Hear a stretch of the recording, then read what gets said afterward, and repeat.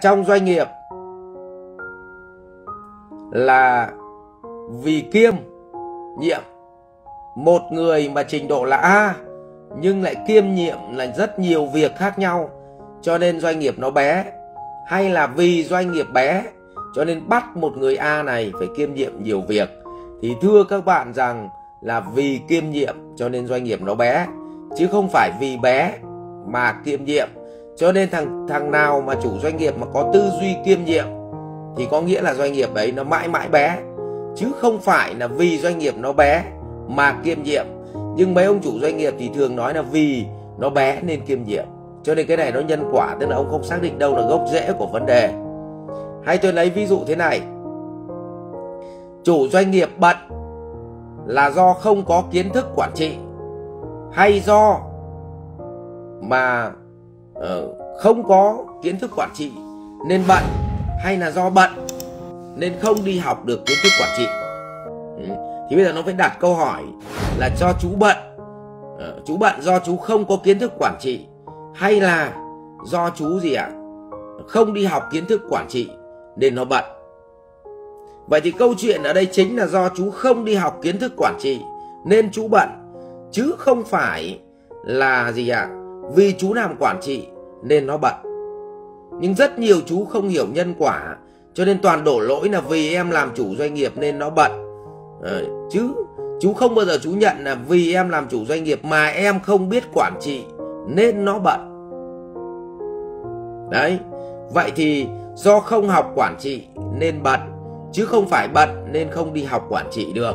Đấy thế thì như vậy là để chúng ta phải xác định rõ cái câu chuyện của nhân quả ừ.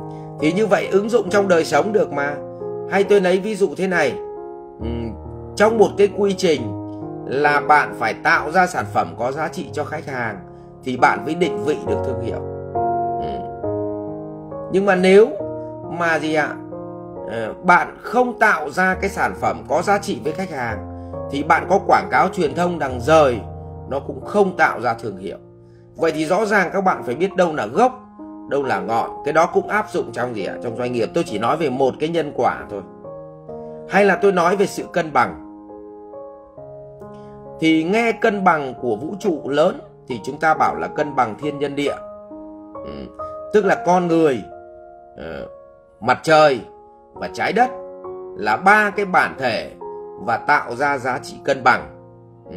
nhưng trong một vũ trụ thu nhỏ của con người mình thì lại có ba thứ cân bằng là thân tâm thuệ nhưng trong một cơ quan thì lại gì ạ? À? trong kinh doanh thì lại có ba thứ cân bằng là làm bất cứ cái gì phải lợi mình, lợi người, tức là lợi làm, người làm thuê cho mình, và lợi chúng sinh, tức là lợi khách hàng. Lợi mình, lợi người, lợi chúng sinh. Nhưng mà rất nhiều ông chủ chỉ quan tâm đến lợi mình và lợi khách hàng, nhưng không quan tâm đến lợi anh em thế thì hệ thống nó èo uột là đúng rồi không anh em nào họ làm việc với mình là đúng rồi. Bởi vì anh bị mất cân bằng một vế.